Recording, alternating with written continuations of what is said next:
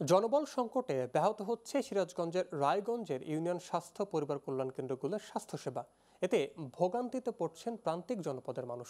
উপজেলা পরিবার পরিকল্পনা বিভাগের কর্মকর্তা জানান, জনবল নিয়োগের চেষ্টা চলছে, তবে কবে নাগাদ সংকট নিরসন হবে তা নির্দিষ্ট করে বলা যাচ্ছে না। এদিকে জরাজীর্ণ ভবনে ঝুঁকি নিয়ে কাজ চালিয়েছেন কর্মীরা। সিরাজগঞ্জের রায়গঞ্জ প্রতিনিধি মোহাম্মদ মামুনুর রশিদের পাঠানো তথ্যচিত্র, ডেস্ক রিপোর্ট।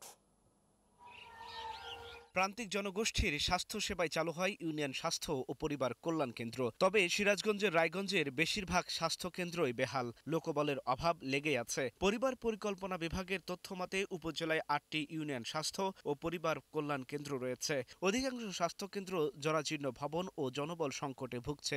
আমাদের ধুবিল ইউনিয়নের হাসপাতাল সাতজন ডাক্তার থাকার কথা এখানে দুজন দিচ্ছে।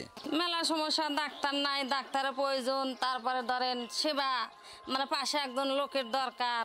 শুধু একটা ডাক্তার এখানে থাকে আর যে অবস্থা হাসপাতালে বেড টেড নাই।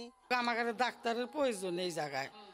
আমরা ডাক্তার আরও চাই। ধামাইনগর ইউনিয়ন স্বাস্থ্য কেন্দ্রে পাঁচটি পদের বিপরীতে একাই সেবা দিয়ে যাচ্ছেন উপসহকারী কমিউনিটি মেডিকেল অফিসার। এখানে আমি ব্যতীত আর কোনো স্টাফ নাই যেখানে একজন ভিজিটর একজন আয়া একজন অ্যাম্বুলেন্সেস থাকার কথা। এখানে দীর্ঘদিন হলেও জনবল নাই। যেহেতু সাতজনের কাজ একজনকে করতে হচ্ছে এখানে স্বাস্থ্যসেবা প্রদানে অবশ্যই বিঘ্নিত হচ্ছে। ইউনিয়ন স্বাস্থ্য কমপ্লেক্সগুলোতে মোট অনুমোদিত পদের সংখ্যা বাউন্নটি, এর মধ্যে নিয়োগ রয়েছে মাত্র বাইশ জনের। উপসহকারী কমিউনিটি মেডিকেল অফিসার থাকলেও ফার্মাসিস্ট সহ অন্যান্য পদে রয়েছে লোকবল সংকট। শিগগিরই এই সংকট কেটে যাবে বলে জানালেন এই কর্মকর্তা।